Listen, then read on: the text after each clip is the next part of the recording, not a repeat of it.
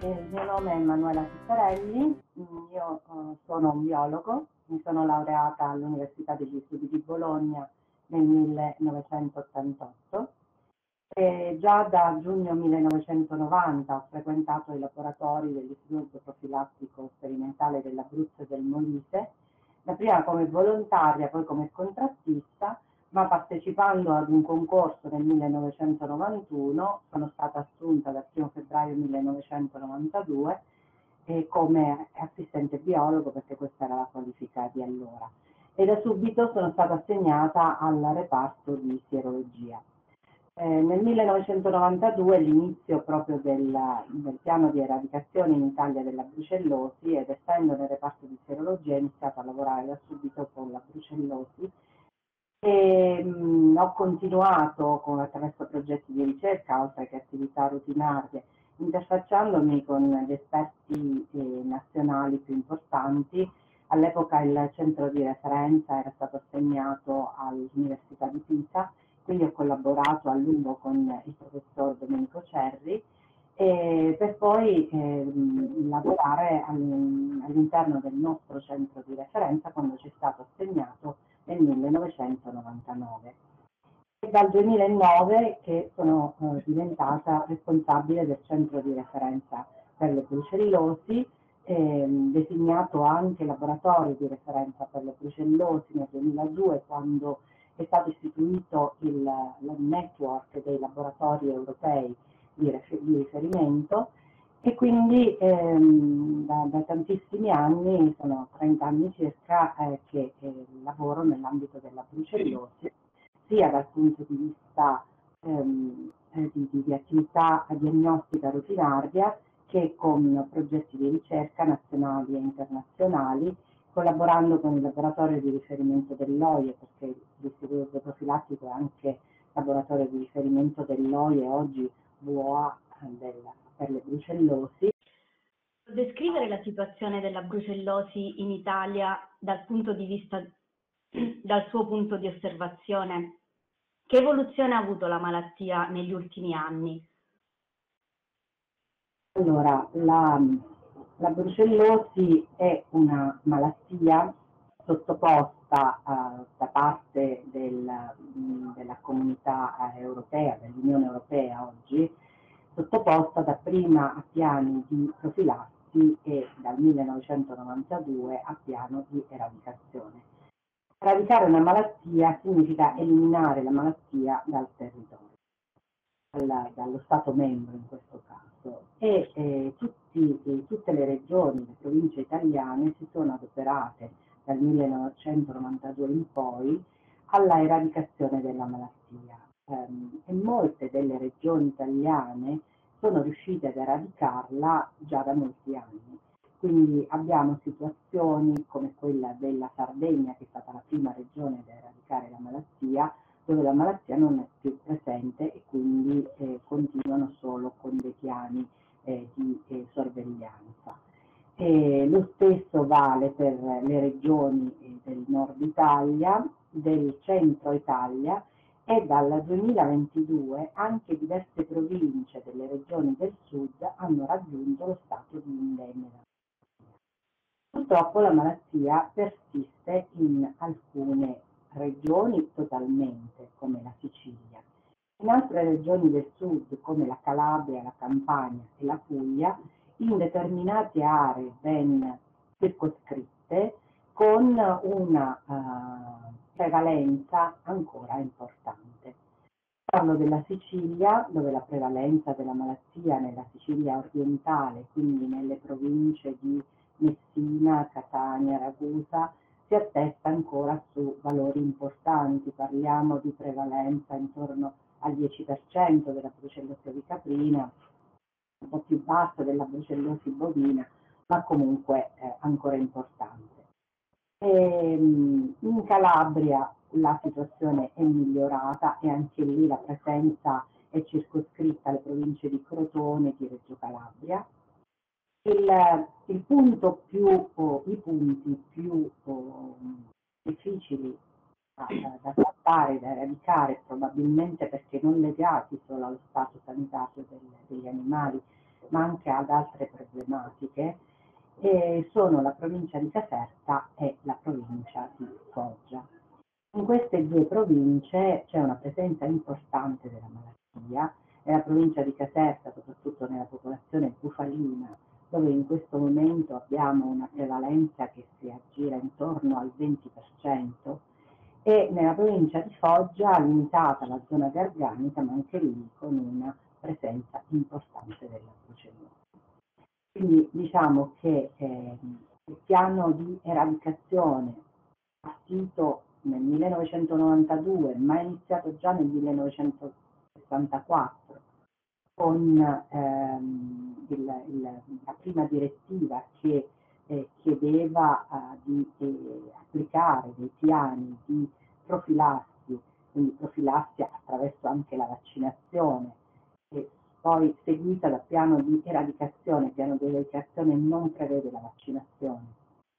ma prevede l'eliminazione della malattia completamente dal territorio senza l'uso della vaccinazione e hanno portato a una buona situazione epidemiologica nell'intero territorio nazionale, tranne che in questi punti precisi. Cosa è successo nel frattempo? Ehm, già del, nel 2006 eh, il Ministero della Salute, rendendosi conto di questa problematica eh, più pressante solo in queste quattro regioni, aveva um, messo su un'ordinanza ministeriale che aggiungeva delle misure ancora più stringenti alla, mh, al piano di eradicazione già in essere per la brucellosi caprina dal 92, per la brucellosi bovina bufalina dal 94, quindi dopo uh, oltre eh, 20 anni di applicazione del piano eh, ci si rese conto nel 2006 che la presenza della brucellosi in queste quattro regioni era ancora molto importante. Quindi facendo un'analisi delle possibili cause che eh, avevano, eh, che stavano ancora ad avere questi livelli di prevalenza, ehm, si individuò eh, la, la motivazione nella presenza sicuramente importante della malattia, ma legata anche al fatto che ehm, l'eliminazione degli animali, eh, perché è chiaro, penso a tutti, che l'eradicazione eh, comporta il controllo serologico degli animali e l'abbattimento degli animali positivi. E l'abbattimento di questi animali avveniva non in tempi utili per l'eliminazione dell'infezione dal, dal stesso, quindi con un'ordinanza ministeriale del 2006 si eh, decise di implementare delle misure più stringenti per ehm, accelerare l'eliminazione dell'infezione dagli e, ehm, questa, questa, ordinanza che poi doveva durare tre anni, poi è stata prorogata nel 2012, poi è stata prorogata nel 2015, poi è stata prorogata nel 2017 ed è stata prorogata l'ultima volta anche nel 2022, ha di volta in volta aggiunto delle misure sempre più stringenti che eh, miravano all'eradicazione eh, in queste regioni eh, dove eh, c'era la persistenza così elevata della, dell'ambuce. In tutti questi anni cosa è successo? Che sono stati messi su dei sistemi informativi a livello nazionale del Ministero della Salute, quali il SANAN, il SIMAN, che hanno consentito di identificare eh, tutti gli animali di queste quattro regioni, sia attraverso le marche auricolari come tutti gli altri nello Stato italiano, ma anche attraverso dei boli endoruminali che hanno consentito di eh, tracciare tutte le movimentazioni, essendo le movimentazioni sicuramente la prima causa di introduzione dell'infezione nell'allevamento. Quindi l'introduzione dei sistemi informativi, il tracciamento delle movimentazioni, eh, modelli eh, per la movimentazione degli animali sempre più dettagliati e informatizzati, hanno effettivamente consentito di eliminare, di arrivare all'eradicazione della malattia anche in queste quattro regioni, la Puglia, dove oramai l'eradicazione è stata raggiunta in quasi tutte le province, quello di Lecce, Bari, Taranto, Brindisi. E quindi solo nella provincia di Foggia abbiamo ancora la presenza dell'infezione. Eh, ci sono alcune regioni, alcune province scusate, della Campania come Avellino, Benevento, anch'esse hanno raggiunto la qualifica di indenne e quindi eh, la, la brucellosi grazie all'applicazione di queste ulteriori forze sia economiche che eh, risorse strumentali e, e di personale hanno consentito di eradicare la malattia da, da tutta la, la, parte centrale dell'Italia e anche in alcune province dell'Italia meridionale. L'esperienza della brucellosi dal punto di vista dell'impatto sulla salute umana, eh, ci sono dei progetti in, ta in tal senso ascrivibili all'ambito del One Health nel contesto socio-zootecnico? Allora, per quanto riguarda la brucellosi, ehm, diciamo che mh, non c'è un vero e proprio uh, piano di controllo, non c'è una vera e propria correlazione con la parte umana. E, infatti io spesso ho detto ma perché non considerare anche la brucellosi come una tossinfezione alimentare? La correlazione è ben evidente per malattie come la salmonellosi, l'echinococcosi, la listeriosi, campilobatteriosi, perché vengono trasmesse attraverso gli alimenti, per la brucellosi non, non c'è la stessa considerazione, di conseguenza non ci sono piani di controllo sugli alimenti che potrebbero trasmettere la brucellosi all'uomo, così come per le altre tossinfezioni. E io facendo parte del gruppo zoonosi dell'EFSA ho segnalato all'EFSA più di una volta questa, questa carenza, anche perché ritengo che l'Europa in primis e l'Italia eh, di conseguenza investono dei, dei, dei, grandi capitali per l'eradicazione della malattia appunto per um, preservare la, la, la, salute pubblica, non è che lo fanno per la sanità degli animali, perché come è noto la brucellosi nell'animale provoca la botta alla prima gravidanza, ma anche animali con la brucellosi possono sopravvivere tranquillamente. Quindi veramente da persona che lavora da tanti anni con la brucellosi mi sono sempre chiesta come, non, come possa essere che non ci sia questa correlazione tra la parte umana e la parte veterinaria per quanto riguarda eh, la brucellosi. E quello che viene fatto si è considerata giustamente è una zoonosi, quindi come tale inserita nel progetto zoonosi dell'EFSA e annualmente vengono raccolti dei dati di attività collaterali che vengono svolte oltre ai piani di pubblicazione sugli animali. Il dato del 2021 perché i dati per l'umana eh, vengono raccolti dalle CDC e dall'EFSA e vengono pubblicati a distanza di, di, di un anno rispetto alla raccolta quindi l'ultimo dato di eh, casi umani di brucellosi è del 2021 e per l'intera Europa si parla di 162 casi. Cosa è cambiato nell'assetto normativo delle leggi, a partire dal regolamento di polizia veterinaria fino ad oggi nei riguardi della brucellosi, sia bovina che ovina? Secondo lei la normativa è ancora carente in qualche aspetto? Il regolamento di polizia veterinaria è del 1954 eh, e stabiliva solo l'obbligo di denuncia eh, anche solo in caso di sospetto di brucellosi di bovini, bufalini, di caprini e suini. E, e, quindi chiedeva eh, semplicemente la denuncia e l'applicazione di eh, specifici provvedimenti igienico-sanitari, quindi ehm, era, era eravamo ancora agli albori diciamo, di tutto quello che è successo poi. E come ho già detto, eh, nel tempo siamo passati da un piano di profilassi con la direttiva del 1964 che quindi ha cercato di controllare la malattia attraverso l'uso della vaccinazione per arrivare poi nel 1992 al piano di eradicazione piano di eradicazione che per tanti anni è stato eh, gestito eh, attraverso eh, gli esami di laboratorio. E cosa cambiato? È cambiato principalmente questo, che siamo passati da un controllo, un controllo della malattia attraverso la vaccinazione, un contenimento della malattia, a un'eradicazione, un'eradicazione basata su diagnosi sierologica e abbattimento, che ha funzionato per tante province e regioni, ma siamo passati poi a un'ordinanza ministeriale che ha aumentato le misure, quindi ha ristretto ancora di più le,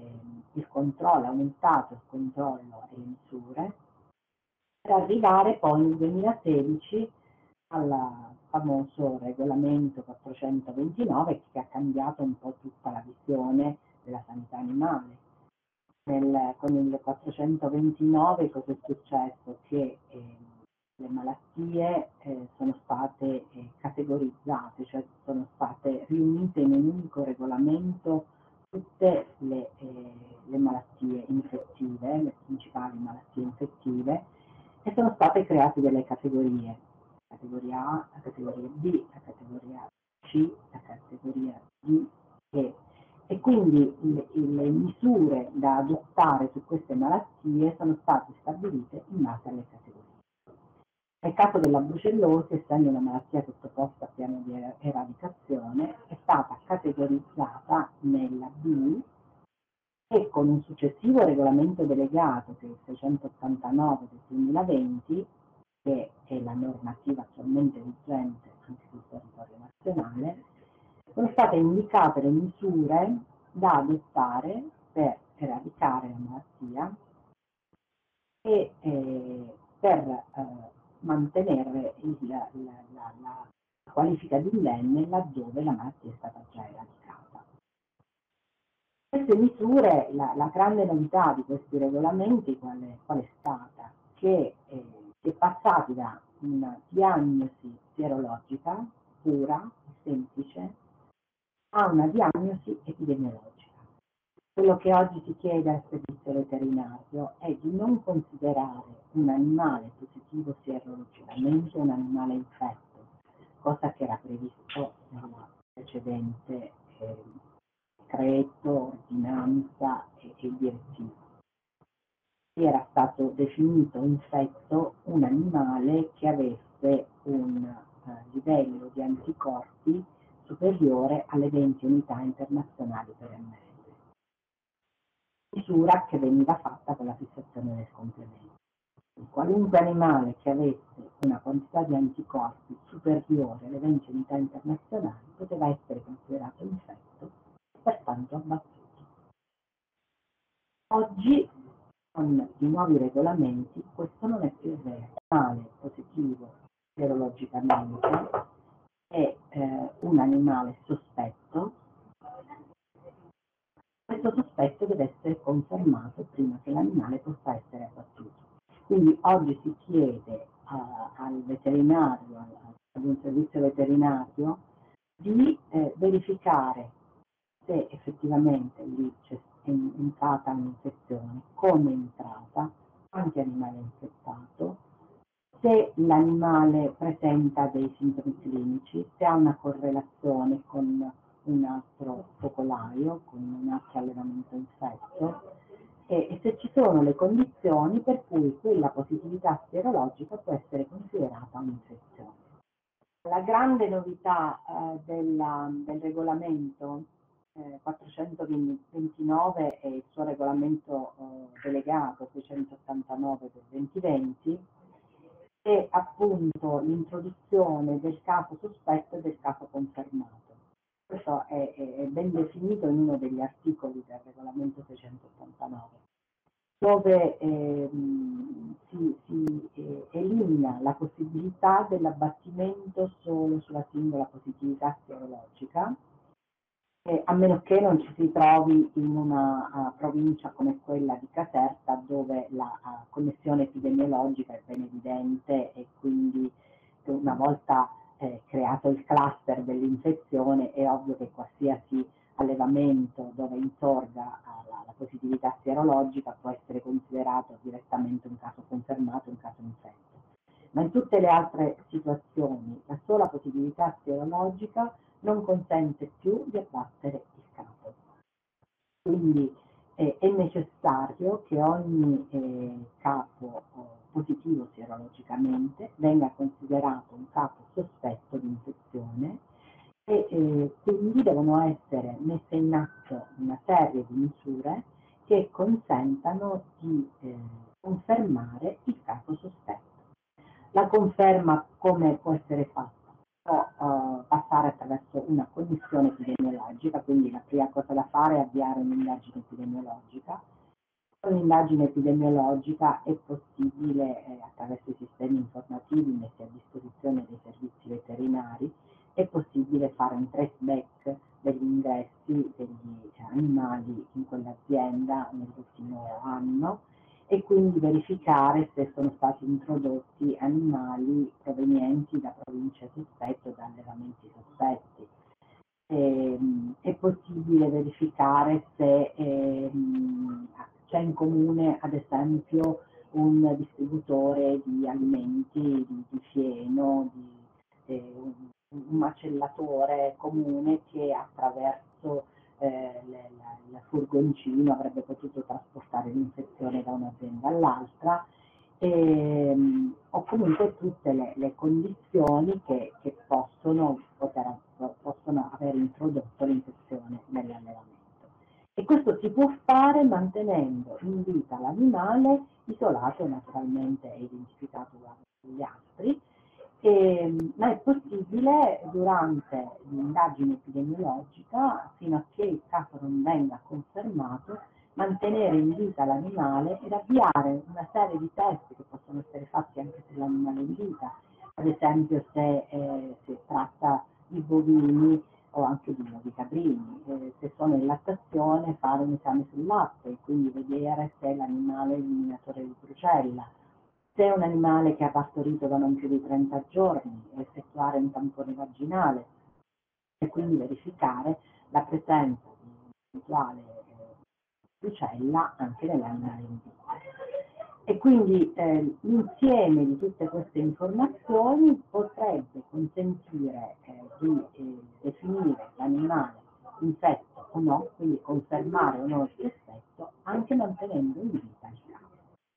Naturalmente saranno necessari dei controlli successivi sia sull'animale positivo che sugli altri eh, dello stabilimento, ma eh, come vedete è, è, un nuovo approccio rispetto alla diagnosi della malattia rispetto al precedente, pur essendo sempre piano di eradicazione, quindi piano che tende all'eliminazione della malattia e attraverso l'eliminazione dell'animale infetto. Ma oggi si elimina solo l'animale realmente Il suo osservatorio privilegiato, i metodi diagnostici in uso per la brucellosi sono adeguati? Bisognerebbe aggiornare qualcosa? Avete sentito la, la critica che è stata mossa nei confronti degli esami sierologici attualmente disponibili ed impiegati sul territorio nazionale che sono la seraglutinazione rapida e la fissazione del complemento. Considerando il numero di animali che deve essere saggiato, cosa si chiede a un test? Si chiede che sia sensibile, che sia specifico, semplice da utilizzare, che sia economico. Il test attualmente in uso per lo screening della, della brucellosi è la servilizinazione rapida e eh, questo test ha in sé tutte queste caratteristiche un test che ha una sensibilità una specificità intorno al 99%.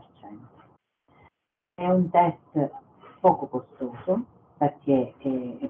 è molto rapido, mh, mm, non richiede strumentazioni particolari, basta eh,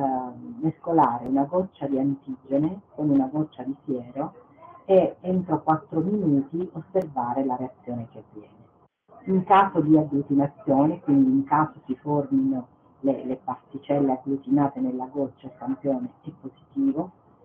se non c'è agglutinazione il campione è negativo. Quindi dal mio punto di vista questo rimane sempre il test più valido e nonostante la, la, la sua, eh, i, i, suoi anni di servizio perché il Rosa Bengala è stato messo a punto negli anni 70, quindi viene utilizzato da 50 anni, però è un test ad oggi molto valido, conveniente, semplice da usare, che può essere utilizzato anche in tutti i laboratori periferici, anche quelli meno attrezzati, che richiede veramente una strumentazione minima per il suo. Test di fissazione del complemento, che è il test di conferma, che oltre ad essere un test qualitativo, come quello della Rosa Bengala, è anche un test quantitativo, è un test un po' più sofisticato. Infatti eh, noi come centro di referenza organizziamo i circuiti interlaboratori annuali mettiamo a disposizione sia la FAR che la FDC nel nostro circuito, ma anche le risalatte, perché eh, nelle, nelle, province eh, indegni è possibile utilizzare anche le risalatte sui bovini in lattazione se eh, almeno eh, tre quarti della mandria eh, è in lattazione. E, mh, e quindi eh, il, il, test di fissazione del complemento abbiamo contezza che non viene utilizzato in tutti i laboratori italiani degli istituti profilattici, perché appunto è un test più complesso, ma è un test di conferma, quindi che si esegue su un numero eh, meno elevato di campioni. C'è un test come la FAR, semplice, economico, può essere utilizzato e viene utilizzato in tutti i laboratori degli istituti zooprofilattici, tanto è vero che al nostro circuito interlaboratorio partecipano circa 70 laboratori italiani. C'è la postilla sulla brucellina che può essere utilizzata solo per riova caprini, almeno per uh, applicazione dei piani. La brucellina può essere utilizzata come conferma nei, nei, nei bovini. Quindi i test diciamo, sono questi anche a livello europeo e a livello normativo. La necessità di test più sofisticati dal mio punto di vista non c'è, anche se a livello di ricerca eh, da anni lavoriamo eh, per individuare eh, del, degli antigeni eh, più oh, non, non un, un, antigene intero come un toto come oggi quello che viene utilizzato, ma semplicemente per la conferma eh, di laboratorio eh, di casi sospetti falsi positivi. Perché, eh, come saprete, la brucellosi e la brucella ha eh, un LPS eh, sulla sua parete che ehm, è il principale eh, antigeni di virulenza,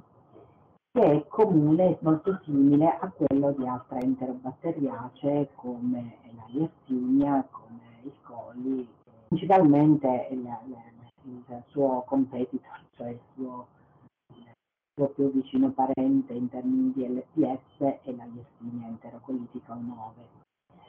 E, e, quindi eh, da, da, da, diversi anni mh, la nostra ricerca è orientata ad individuare eventuali antigeni eh, di, di, virulenza importanti che, che siano um, immunocompetenti eh, per uh, un'analisi differenziale con gli assini laddove eh, si abbia una positività serologica non riconducibile ad infezione da Brucella quindi dove si sospettino falsi, delle false positività. Purtroppo ad oggi, pur avendo individuato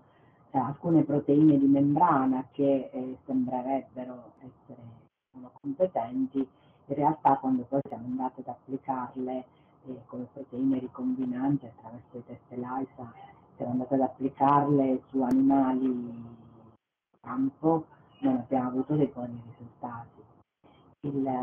l'LPS rimane l'antigene di virulenza più importante e quindi anche quello che consente di eh, distinguere meglio i veri positivi dai falsi positivi. A tutt'oggi rimane ancora più importante. Quindi l'uso di una brucella intera, perché come antigene, questi antigeni che ho nominato utilizzano le brucelle intere come antigene corpuscolato, colorato, vi sono sospensioni batteriche che vengono utilizzate come, come antigeni eh, di, per prove serologiche eh, o come LPS puro dei test ELISA rimangono gli antigeni più importanti e più immunocompetenti per la diagnosi serologica. Mi chiederete eh, perché eh, non viene considerato test ufficiale anche il test diretto. E il motivo è che il test diretto, che poi è l'isolamento piuttosto che la PCR,